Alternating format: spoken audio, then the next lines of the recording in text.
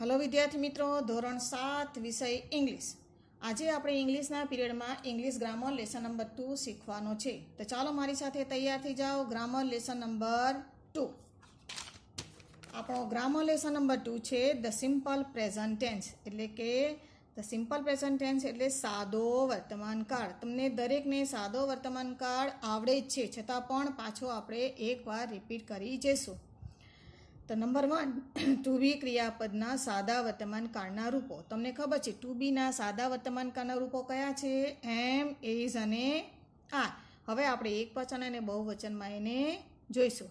તો એક વચનમાં પહેલો પુરુષ, એક વચન આઈ આઈની સાથે આવશે એમ આઈ એમ બહુવચન વી આર બીજો પુરુષ, એક વચન યુ આર બીજો પુરુષ બહુવચન યુ આર ત્રીજો પુરુષ, એક વચન હી, સી અને ઇટ.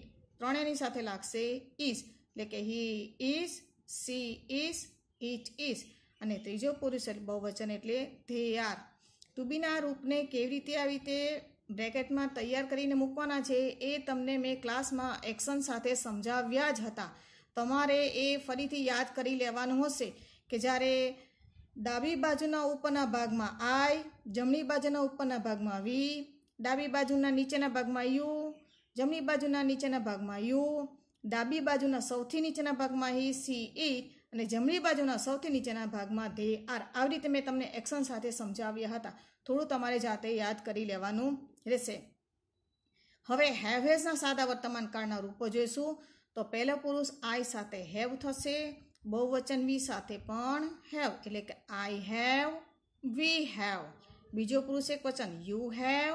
બહુવચનમાં પણ યુ હેવ ત્રીજો પુરુષ એક વચન હી, સી ઇટ સાથે હેઝ અને બહુવચનમાં ધે હેવ આ પણ મેં તમને સમજાવ્યા હતા કે I have, we have, you have you have.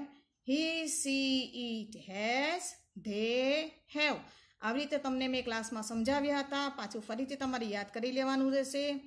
હવે આપણે સાદા વર્તમાનકાળનો ઉપયોગ ક્યાં કરવાનો છે એ તમને કોઈ પણ એક ક્રિયા દ્વારા તમને સરસ મજાનું વાક્ય બનાવીને બતાવ્યું છે. તો રોજિંદી અથવા ટેવસ થતી ક્રિયાઓ દર્શાવવા માટે ટુ ઇટ ક્રિયાપદના સાદા વર્તમાનકાળના તમને રૂપો આપ્યા છે. અહીં જુઓ, એક વચન અને બહુવચન આપણે શીખ્યા છે. એ જ રીતે પહેલો પુરુષ એક વચન. ક્રિયાપદ છે ટુ ઇટ એટલે કે ખાવો.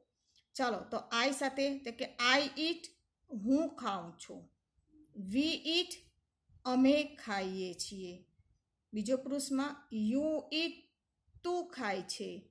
અને બહુવચનમાં, યુ ઇટ તમે ખાઓ છો.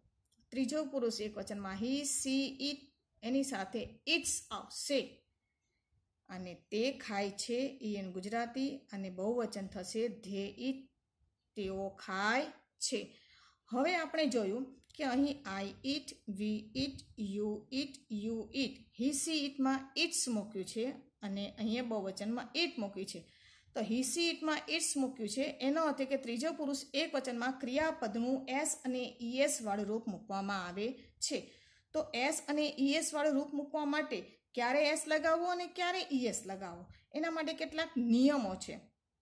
તો જોઈશું પાછું તો કે દરેક વાક્યમાં ક્રિયાપદનું મૂળરૂપ જ વાપરવાનું છે વપરાયું છે. પરંતુ ત્રીજા પુરુષ એક વચનમાં જ ક્રિયાપદને એસ પ્રત્યે લાગે છે. તે એના ત્રણ નિયમ અહીં સમજાવે છે. તો નિયમ નંબર એક આપણે જોઈશું. તો ત્રીજા પુરુષ એક વચનમાં ક્રિયાપદની અંતે double S S H C H X કે ઓ આવેલા હોય તો ઈએસ પ્રત્યે લાગે છે. એનો અર્થ કે જુઓ, કોઈ પણ એક ક્રિયાપદ પાસ પાસમાં છેલ્લા બે અક્ષર ડબલ એસ છે. એટલે એનું કોઈ કેવું રૂપ મૂકવાનું? પાસીસ થઈ જશે. એટલે પી એ ડબલ એસ પાછળ લાગશે ઈએસ બીજું ક્રિયાપદ છે વોશ. એમાં એસ એચ બતાવેલો છે. તો એનું બની જશે વોશિશ. ત્રીજું છે ટીચ.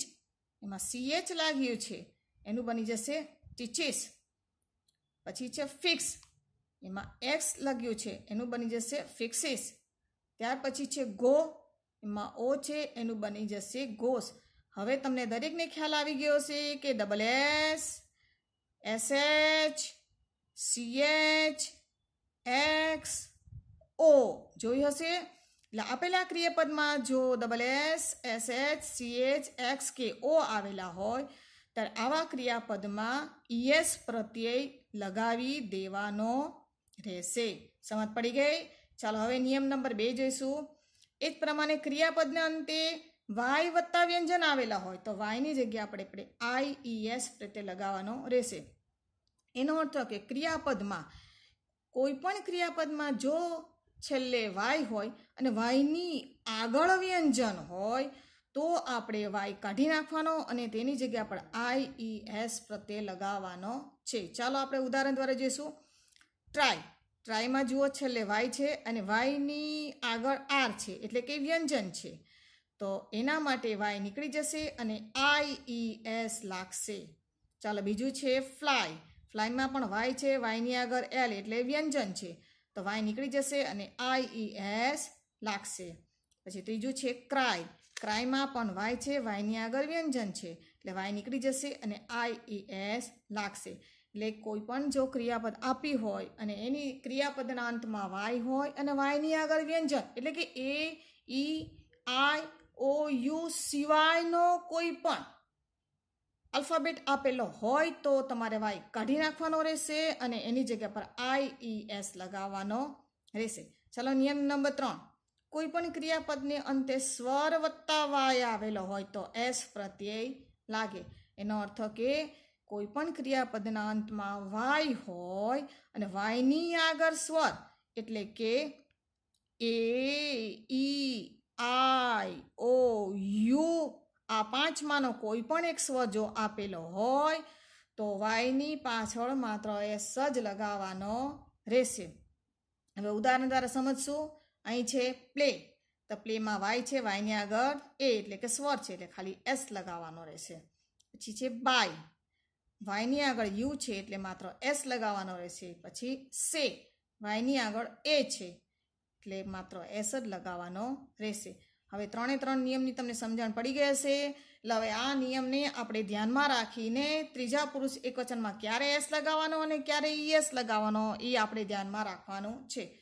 હવે એક ડુડસવાળા સાદા વાક્ય જોઈ લેશું. તો ડુ અને દસ. હવે એ પણ સાદા વર્તમાન કાળના જ રૂપો છે. તો જ્યારે પહેલો પુરુષ એકવચનમાં આઈ ડુ બહુવચનમાં વી ડુ બીજો પુરુષ એકવચનમાં યુ ડુ બીજો પુરુષ બહુવચનમાં પણ યુ ડુ હવે ત્રીજો પુરુષમાં જોઈશું. ત્રીજો પુરુષ એક વચનમાં હી સી ઇટમાં ડઝ વપરાશે અને ધે સાથે ડુ વપરાશે. આ ડુ અને ડઝનો ઉપયોગ આપણે પ્રશ્નાર્થ વાક્ય બનાવશું, ત્યારે તમને ઝડપથી ખ્યાલ આવી જશે. હવે આપણે પછીના પીરિયડમાં સિમ્પલ પ્રેઝન્ટ ટેન્સના પ્રશ્નોના ઉત્તર કેવી રીતે લખાશે એ સમજવાના છે.